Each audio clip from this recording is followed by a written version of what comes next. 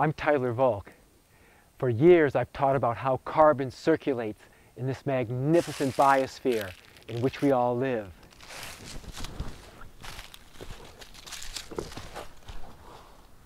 I'm making this series of videos to accompany my book, CO2 Rising, and to get the word out about changes going on in the global carbon cycle, changes that will be in the news every year for the rest of our lives. In this first, I want to ask exactly where are these increasing concentrations of carbon dioxide? And how well do they correlate with the locations of the nations that are emitting the CO2? The best place to start is with the longest running record measured directly from the air itself. That honor is shared by two sites. We'll take a look first at data from what surely is the most famous from the big island of Hawaii in the tropical northern hemisphere. Let's go.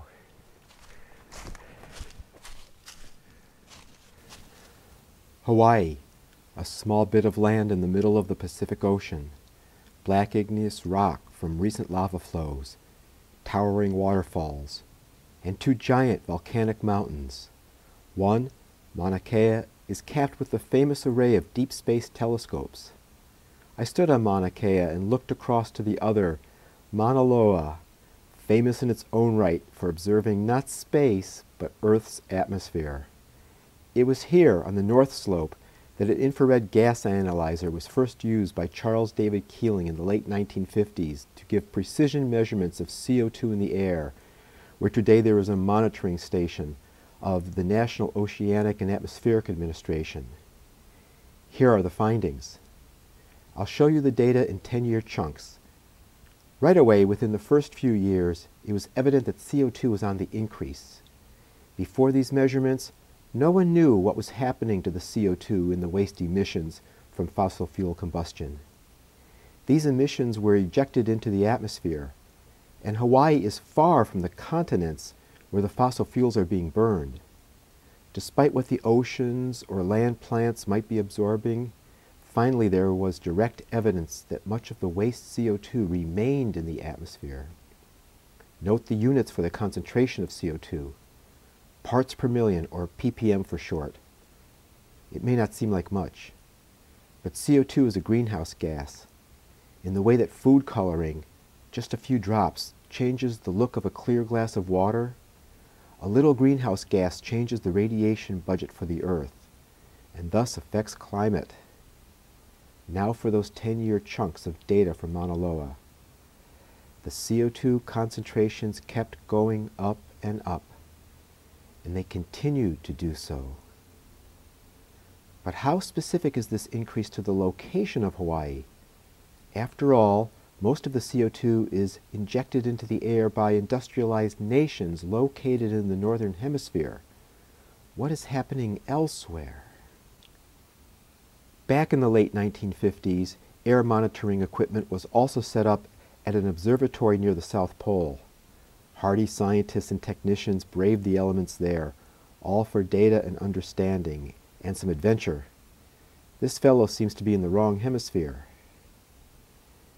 How does the CO2 data at the South Pole, as far away as possible from the Northern Hemisphere's industrial emissions, compare to the data from Mauna Loa on Hawaii? I've duplicated the entire set of Hawaiian data and faded it into gray so the data from the South Pole stand out as black on top. Some data are missing from the first 10 years, but already you see hints of what is to come. The CO2 concentrations at the South Pole are about equal to those at Hawaii. What does that mean? We'll move forward in time, as before, in 10-year chunks.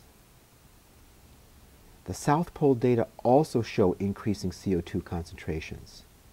One difference is that the annual swings up and down are much smaller than the swings so evident at Hawaii, a fascinating feature of the global carbon cycle that I plan to discuss in another video. But here's the main point. The CO2 concentrations at the South Pole are very close to the averages at Hawaii. Now most of the CO2 is dumped into the Northern Hemisphere, but that hemisphere does not keep the waste gas. It is spread around the world. The Earth's winds are like a mixmaster, a blender, swirling the CO2 from the northern to the southern hemisphere, so that the concentrations are increasing just as much at the South Pole as at Hawaii. Is this finding truly general?